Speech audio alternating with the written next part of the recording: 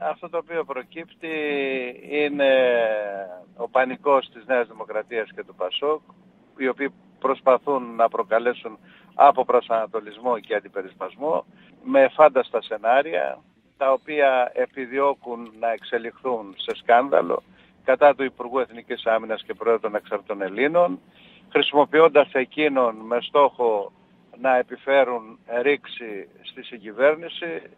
Εμείς, όπως ε, θα ξέρετε, έχουμε αποφασίσει στην κεκλεισμένων των θυρών όταν συνεδριάζει η Επιτροπή Εξοπλιστικών Θεμάτων να πουλάμε οτιδήποτε εύχριστο όμως, πλην όμως μη επιχειρησιακά κατάλληλο για τις ένοπλες δυνάμεις, τις ελληνικές ελληνικές δυνάμεις. Με άλλα λόγια, είχαμε 300.000 βλήματα, τα οποία δεν θα χρησιμοποιούνται επί δεκαετίες τις αποθήκες μας. Ευτυχώς δεν είχαν λήξει. Οι προηγούμενες κυβερνήσεις τα άφηναν εκεί και σάπιζαν. Ο Πάνος ο Καμένος λοιπόν, προκειμένου να επιτύχει ένα διπλό σκοπό, Πρώτον, να μην σαπίζουν. Δεύτερον, εάν θελήσουμε να τα αχρηστέψουμε, να τα, τους βγάλουμε τη γόμους και τα εκρηκτικά από μέσα, να το πούμε απλά λόγια, θα έπρεπε να ξοδέψουμε πολλά εκατομμύρια σε αυτόν ο οποίος θα τα αχρήστευε. Προκειμένου λοιπόν από τη μια να γλιτώσουμε αυτή τη δαπάνη, από την άλλη να κερδίσουμε κάποια χρήματα και να τα αξιοποιήσουμε ωφελία των όπλων δυνάμεων, έγινε μια διακρατική συμφωνία με τη Σαουδική Αραβία προκειμένου να τα αγοράσει. Ναι. Η Σαουδική Αραβία όσοι είχε δικαίωμα στη διακρατική συμφωνία, εμείς δεν το είχαμε, εκείνη το είχε, έβαλε εκπρόσωπο πληρεξούσιό της ε, για την περαίωση της διαδικασίας πώλησης, ε, φόρτωσης και μεταφοράς αυτών των βλημάτων. Και περιμένουμε τη Δευτέρα να μας αποδείξουν από πού και ως πού ο εν λόγω κύριος πληρεξούς της Σαουδικής Αραβίας ονόματι Βασίλειος Παπαδόπουλος δεν είναι δικός τους αλλά είναι δικός μας μεσάζων. Αντιδρώντας εμείς τι κάνουμε, παρουσιάζουμε το έγγραφο όπου το Υπουργείο της Σαουδικής Αραβίας τι λέει, ο Βασίλειος ο Παπαδόπουλος είναι πληρεξούσιος εκπρόσωπος δικός μας της Σαουδικής Αραβίας.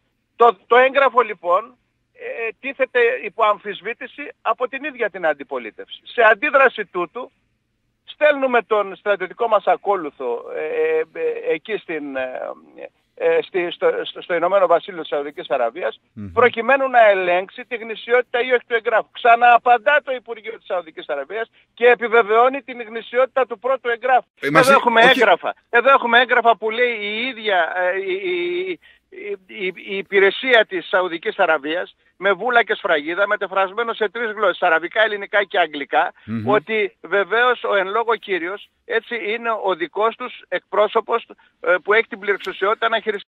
Εμείς, εμείς λοιπόν σήμερα έχουμε όλα εκείνα τα έγγραφα που αποδεικνύουν ανδιαμφισβήτητα την καθαρότητά μας, την υπευθυνότητά μας και την εντιμότητά μας ως προς τη λειτουργία των υπηρεσιών του Υπουργείου Εθνικής Άμυνας και του Πρόεδρου μας και Υπουργού μας του Πάνου του καμενου Λοιπόν, από εκεί και πέρα, όσοι καταγγέλουν με αφορμή ένα ανυπόστατο έγγραφο ενός ταξιάρχου, το οποίο δεν έχει καμία εγκυρότητα και καμία επισημότητα, αν πάρετε λοιπόν στα χέρια σας κύριε Βενιέρη αυτό το έγγραφο, θα δείτε ότι στερείται αριθμού πρωτοκόλλου, ημερομηνίας, αναφορά παραλήπτη και υπογραφή. Ένα τέτοιο έγγραφο λοιπόν αποτέλεσε ε, το, το έναυσμα ώστε η αντιπολίτευση να θεωρήσει ότι έβγαλε ένα λαβράκι Εάν, εάν, εάν, εάν μέσα σε μια υποθετική κουβέντα, εάν λοιπόν η πώληση ξεκινάει με 300.000 βλήματα και εάν από τα 300.000 βλήματα σου λέει ότι αυτή τη στιγμή θα πάρω τα 100.000 και βλέπουμε για τα υπόλοιπα 200, υπάρχει τίποτα το μεμπτό;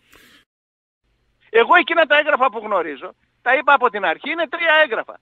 Την, το, το, το, το, ότι θεωρείται ανυπόστατο και μη έγκυρο αυτό της αναφοράς του ταξιάρχου που αποτέλεσε το έναυσμα και το κίνητρο για να γίνουν οι καταγγελίες και ερωτήσεις από τους βουλευτές, ανυπόστατο εντελώς, ο ίδιος ο ταξιάρχος δεν υπογράφει ποτέ, δεν υπάρχει παραλήψη, δεν υπάρχει αριθμός πρωτοκόλλου. Το δεύτερο έγγραφο είναι ότι η Σαουδική Αραβία ε, και, ε, ε, εγκρίνει τον δικό της εκεί τον Βασίλη τον Παπαδόπουλο ως πληρεξίσιο εκπρόσωπο και το τρίτο έγγραφο το οποίο έχω εγώ είναι ότι το τρίτο επιβεβαιώνει το δεύτερο ότι πράγματι είναι δικός μας πληρεξίσιος ο Βασίλης ο Παπαδόπουλος. Ναι. Στη βάση αυτών των τριών εγγράφων κάνετε συζήτηση.